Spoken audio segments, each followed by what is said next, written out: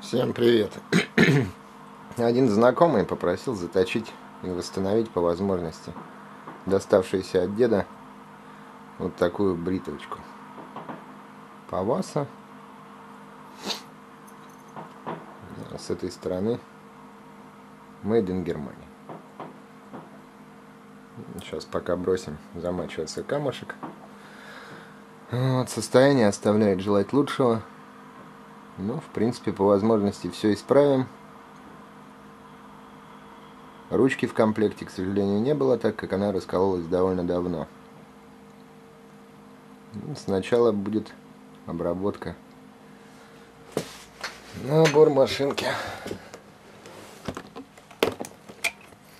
Ну, бормашинка довольно простая. Борт. Набор насадок практически весь заменился. Ну вот, потом продолжим. Что из этого выйдет.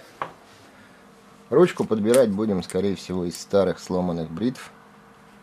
Ну, коробочку, я думаю, также подберем.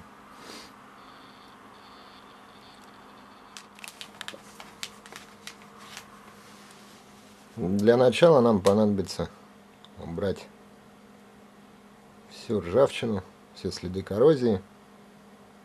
В общем, все дефекты устранить, так сказать. Царапина. Ставим вулканитовый кружок, чтобы убрать изначально весь этот ужас.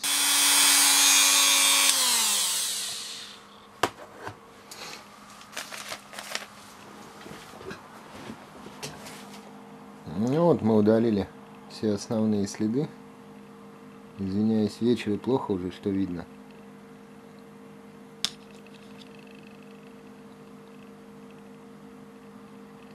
Это мой фактически первый опыт обращения с камерой и с таким видом съемки. Так что не ругайтесь. А за это время пока будет замачивать вот этот вот камушек 1006 тысяч для предварительной обработки. Финишировать будем на тюрингском шифере. Сейчас попробуем набрать фокус. С фокусом не все так просто. Ну и так как нет штатива, снимаю одной рукой, сами понимаете, это не очень удобно. Это вводный сланец для оправки доводки бритв. Ну вот поменял насадку на войлочный кружок. Ну, паста всем известный диалюкс белого цвета для финишных и полировочных работ. Прошло примерно около 15 минут. Ну, поверхность, если будет видно, сейчас попробую приблизить это к свету.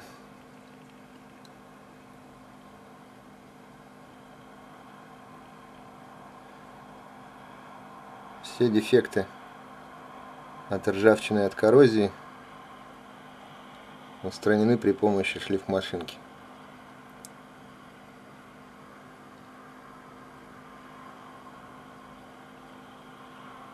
Это все будет убираться, мелкие риски по возможности.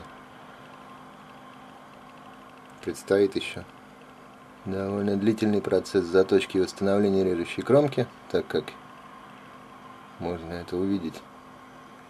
Состояние оставляет желать лучшего. Ну что ж. Продолжим, пока камушек замачивается. Процесс продолжается. Что, заполировали бритву, в принципе. Основная часть по устранению следов ужаса и времени устранена. Так как оригинальных заклепок медных я не нашел, буду использовать вот такого плана. Они не то медные, не то омедненные гвозди. Ручка для бритвы ну, придется использовать старую сточную бритву нашел подходящего размера ручку. Ну и в данный момент сейчас сниму все это и буду уже переставлять на непосредственно сам клинок. Так, пока все. Ну вот, спустя час ставим гвоздик, так называемую заклепочку. Ну, вот сама ручка подошла идеально. Сейчас переставим с небольшой шайбочкой, чтобы это все было более или менее аккуратно. Ну а дальше уже будем переходить непосредственно к процессу заточки. Ну, вот. Спустя еще какое-то время с помощью двух молотков получились вот такие вот заклепки.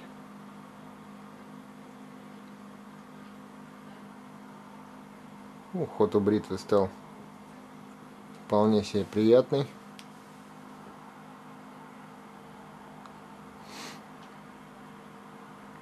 Ну, я считаю, эта ручка очень даже симпатична с этим лезвием. Ну, это мой взгляд. Соответственно, камешек готов к использованию. Дальнейший результат будет попозже.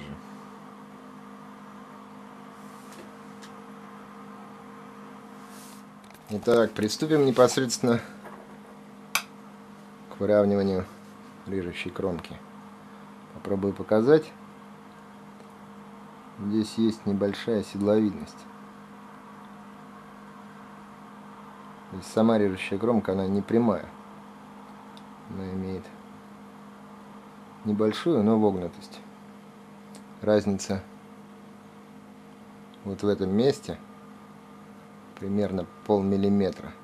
Ну, если это заметно. Ну и состояние самой кромки очень плачевное.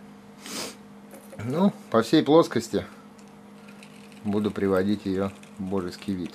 Очень неудобно, скажу вам, снимать и делать какие-то движения. Ну, вот. Покажу сам процесс как-нибудь в следующий раз. Ну а сейчас приступаю к удалению дефектов.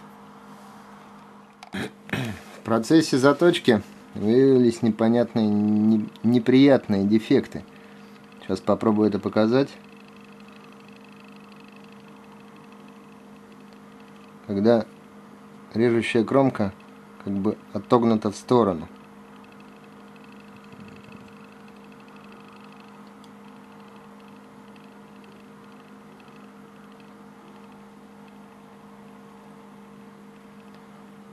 Из этого следует, что придется стачивать значительную часть, чтобы выровнять все эти дефекты. Ну, в общем, так как нет дневного света, показать качественно кромку очень и очень сложно.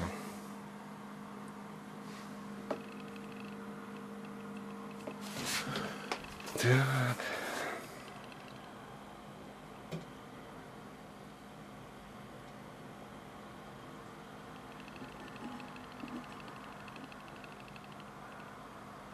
Ну вот, если видно.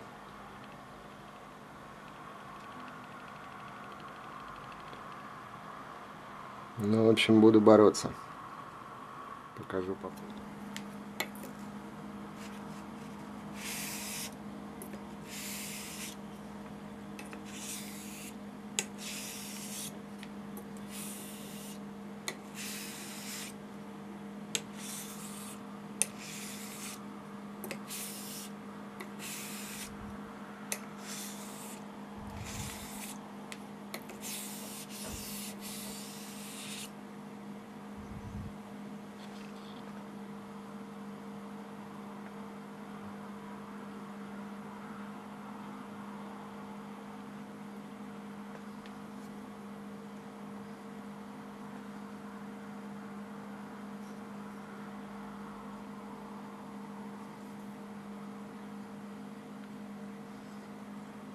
Заточку произвожу на шеститысячном камушке водном. Довольно твердый на керамической связке.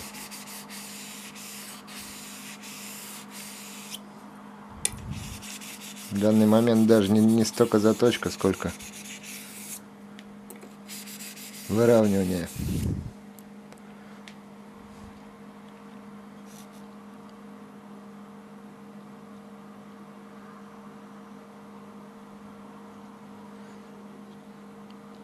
Прошло примерно два часа.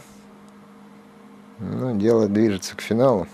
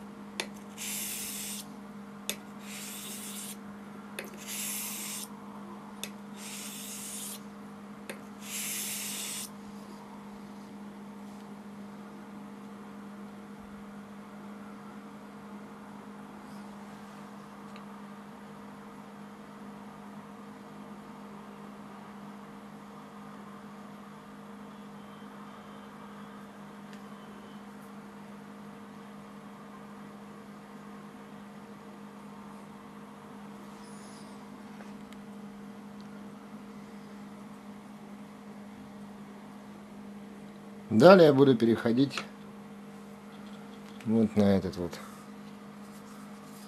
специально для бритв. Ну, для ножей я его не использую, потому что не вижу смысла.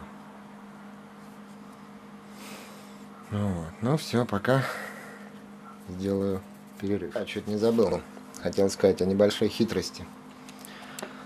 При заточке я использую обычную изоленту. Наклеивается на обушок это позволяет выровнять небольшой угол, изменить. И движения те же самые. Единственное усилие вообще практически не прилагается. Бритва должна ездить под собственным весом. То есть буквально аккуратно ложите. И теми же движениями, не прикладывая практически никаких усилий.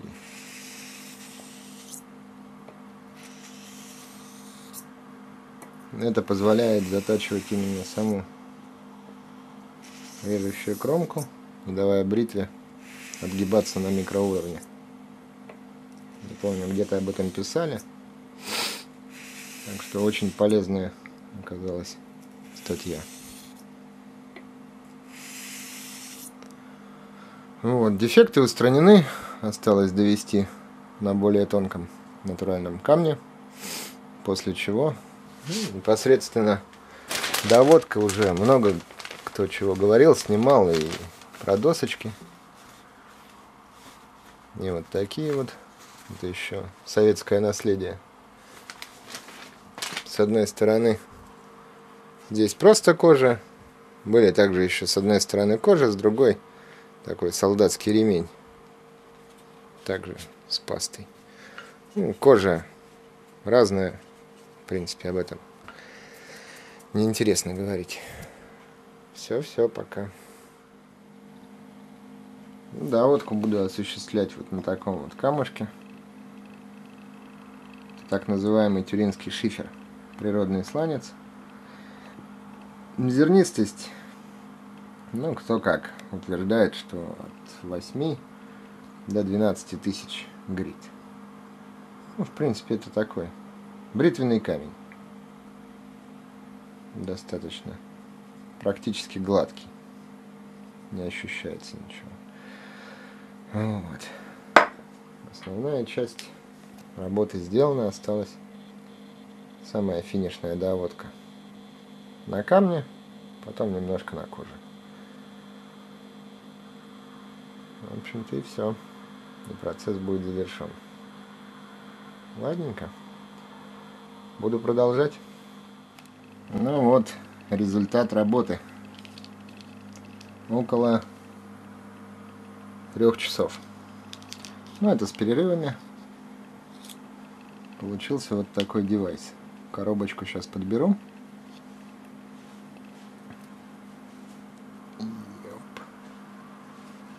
Открывается довольно плотно, но мягко. Вот получился. Бритва готова к бритью. Волосок нарезает порядка сантиметра от лезвия.